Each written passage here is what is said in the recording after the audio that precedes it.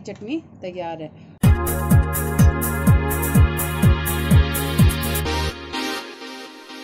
नमस्कार दोस्तों, मेरे कुकिंग किचन में आपका स्वागत है और आज मैं सिखाऊँगी केले की चटनी। राजस्थान में केले की चटनी बहुत बनाई जाती है। केले जब नरम हो जाते हैं या बच जाते हैं तो उससे हम आज केले की चटनी बनाएँगे। ये आपके और आपके बच्चों को बहुत पसंद आएगी। केले की चटनी के लिए हम सबसे पहले हम केले लेंगे। ये केले थोड़े नरम हैं।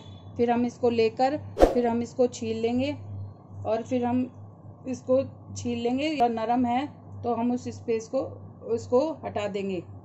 फिर हम इसको बाउल में ऐसे काट लेंगे और इसको काट लेंगे। फिर हम ऐसे ही दूसरा केला लेंगे। फिर इसको भी हम छील लेंगे और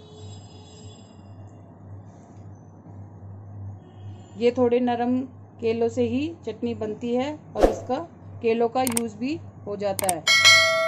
जब बच्चे नरम केले देख के नहीं खाते तो हम इस तरह से चटनी बना लेते हैं और ये चटनी बहुत ही स्वादिष्ट बनती है।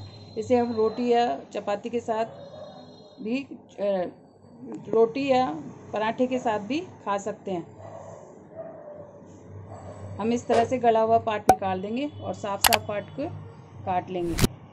और इसको हम गोलाई में काट लेंगे। केले की चटनी की सामग्री।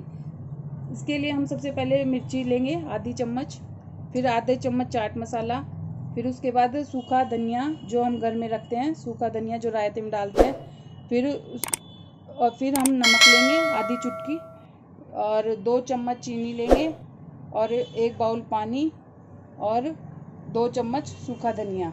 ये बहुत ज़रूर, ज़रूरी सामग्री है। केले की चटनी के लिए हम सबसे पहले आधी चम्मच नमक डालेंगे। फिर हम इसमें पिसी हुई लाल मिर्च डाल देंगे, आधी चम्मच। फिर हम इसमें चाट मसाला डाल देंगे, आधा चम्मच। हरा धनिया या पुदीना भी ले सकते हैं।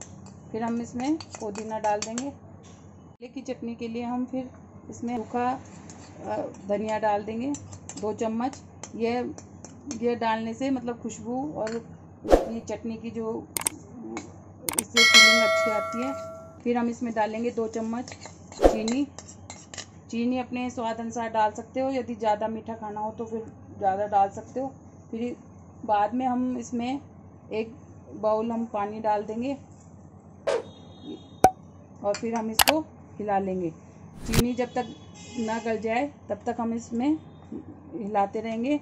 और चीनी गल जाएगी, तभी हमारी तैयार है। हमने चीनी इसमें मिला दी है और हमने जब चखा तो इसमें दो, मैंने इसमें दो चम्मच चीनी और ऐड कर दी है, क्योंकि मुझे कम लगी इसमें। और यदि आप मीठा खाते हैं ज़्यादा तो आप इसमें दो चम्मच और ऐड कर सकते हैं अपने स्वाद अनुसार। और इस तरह से अब हमारी चटनी तैयार है। यह किसी भी पराठे या रोटी के साथ हम इसको खा सकते हैं। आपकी चटनी कैसी बनी ये आप हमें कमेंट सेक्शन में बताइए।